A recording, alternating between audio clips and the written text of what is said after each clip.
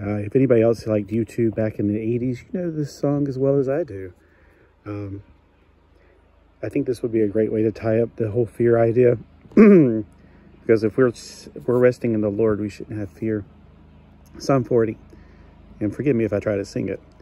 I waited patiently for the Lord. He inclined to me and heard my cry. He brought me up out of the horrible pit, out of the miry clay. He set my feet upon a rock and established my steps. He has put a new song in my mouth. Praise to our God.